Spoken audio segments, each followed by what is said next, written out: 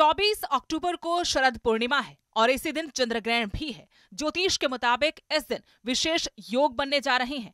इस दिन सत्यनारायण के व्रत में इंद्र और लक्ष्मी की पूजा भी की जाती है और यह आश्विन शुक्ल पक्ष की पूर्णिमा भी होगी।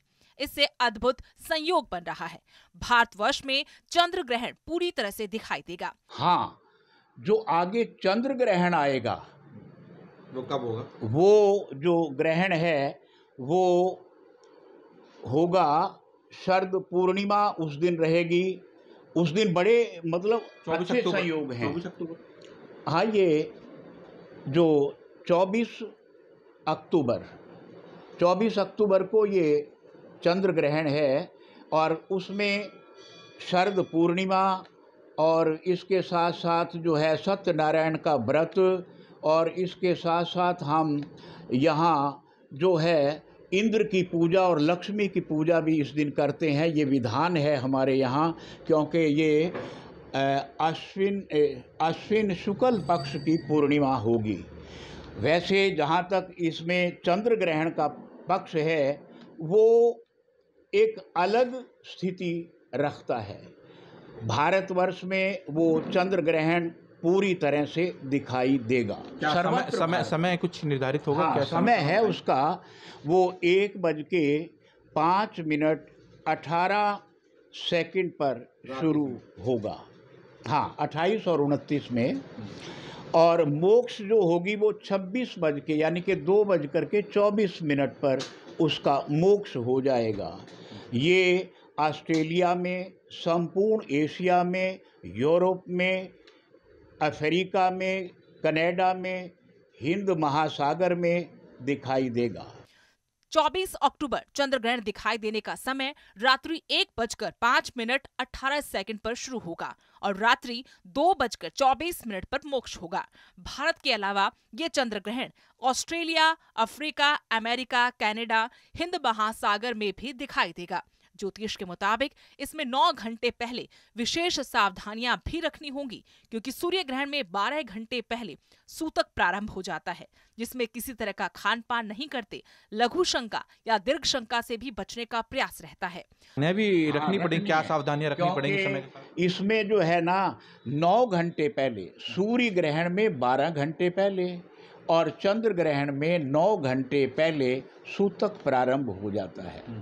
उसमें खान पान हम नहीं करते हैं और कोई लघु शंका या दीर्घ शंका से भी बचने का प्रयास रहता है, क्योंकि पॉल्यूशन तो है। इसमें जो है ना, गैसें निकलती हैं, चंद्रमा है या सूर्य है तो इसमें हम अपनी ओर से पर्यावरण को कोई असुरक्षित ना करें इसके लिए सावधानियाँ बरतनी पड़ती हैं। तो पंडित जी इसमें जैसे कोई वृद्ध है बुज़ुर्ग है जो हाँ, लोग चल फिर नहीं तो सकता या बीमार है वो किस तरह पूजा अर्चना करे? देखिए वो पूजा भावना से करेगा स्नान दान करेगा लेकिन उन्हें खाने पीने के लिए मनाही नहीं हो सकती। कारण ये है काया रक्षते धर्म है। सबसे पहला हमारा जो धर्म है वो शरीर की रक्षा है। तो उसमें बालक भी आ गए छोटे बालक हैं जो मतलब भूख प्यास हालाँकि वैसे क्या है रात को है ये। तो उस समय लेकिन फिर भी इसका सूतक तो जो है ना शाम को चार बज के पाँच मिनट और अठारह सेकंड पे शुरू हो जाएगा।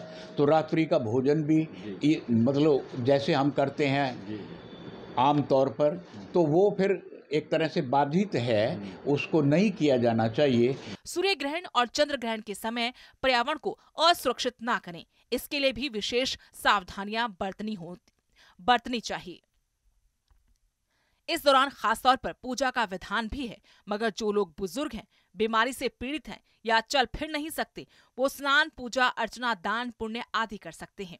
और ऐसे लोगों को खाने पीने की मनाही भी नहीं रहेगी, क्योंकि हमारा सबसे पहला धर्म शरीर की रक्षा करना है और इसका सूतक शाम चार बजकर पाँच मिनट अट्ठारह सेकंड पर शुरू हो जाएगा।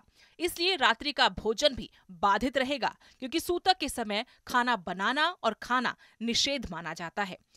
बाकी जहाँ तक राशियों का सवाल है मेघ से लेकर के और मीन राशि तक केवल दो ही राशियाँ ऐसी हैं जिनमें इसके लिए अच्छा प्रभाव दिखाया गया है। मतलब वो है मे- मेरी मेष राशि है। हाँ नहीं मेघ राशि पे मेष राशि पे ये शुभ नहीं है। हालाँकि ये सारा ये अब आपकी जन्म राशि क्या है? और प्रसिद्ध राशि क्या है? ये शायद आपको पता नहीं नहीं होगा। केवल नाम से आप अब जानते हैं कि मेरी राशि मेष है। लेकिन जो कुंभ राशि है और मकर राशि है इन केवल दो राशियों के लिए शुद्ध मतलब अच्छा फल बताया गया है।